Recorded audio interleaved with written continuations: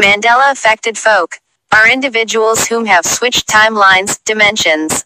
Those that don't see any changes are either native to this timeline, or they are just plain ignorant. By native, I mean they were born here, in this timeline. Mandela affected folk, on the other hand, were not. Despite it being known as the Mandela effect.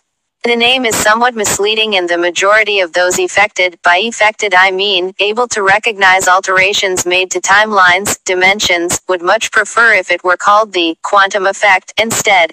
A great many of us have come to realize the latest developments in quantum computing and artificial intelligence, particularly the D-wave quantum computers, and experiments conducted by scientists at CERN, appear to have a great deal to do with it all. A great many are also aware of the changes being made to biblical scripture. I've put together a short list of some of the, in my opinion, important aspects to the Mandela effect. Number 1. For the past 2,000 years or so, a selection of self chosen, elite family bloodlines have been running this world. They are otherwise known as the Cabal, the New World Order, or the Illuminati. Number 2. They are satanic by nature.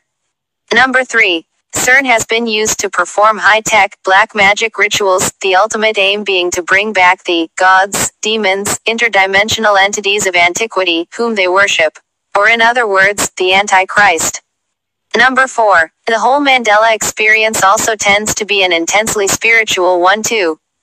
Number 5. Our physical reality is akin to a very realistic computer simulation. I like to use the term Earth Matrix. Number 6. The soul, spirit, consciousness is the real you, not the physical body you're inhabiting at present.